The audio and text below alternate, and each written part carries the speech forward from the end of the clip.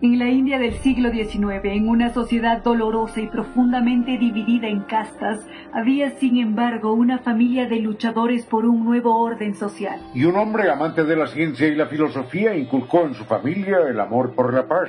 Pero no era la paz en el vacío como sinónimo del sometimiento de los más débiles a los poderosos, sino la paz como consecuencia de la justicia, y eso significaba enfrentarse al mundo que los rodeaba. Y a riesgo de su propia vida inició una campaña contra la sociedad dividida irracionalmente en castas, contra los matrimonios entre niños, contra la esclavitud femenina y contra la miseria de los sectores más desfavorecidos.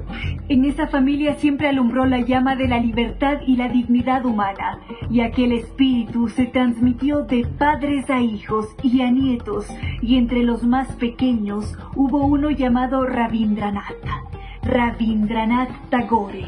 Rabindranath fue un mal estudiante que pronto abandonó la escuela, pero fue instruido en el mundo de las letras por uno de sus trece hermanos.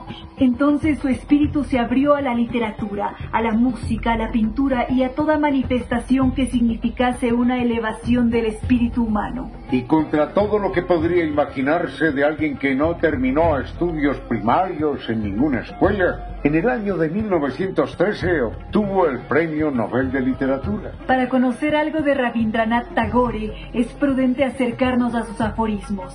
Escuchemos la voz de este poeta y filósofo de la India. La verdadera amistad es como la fosforescencia. Resplandece mejor cuando todo se ha oscurecido. Si cerráis la puerta a todos los errores, también la verdad se quedará afuera.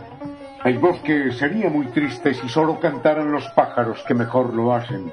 Dormía, dormía y soñaba que la vida no era más que alegría.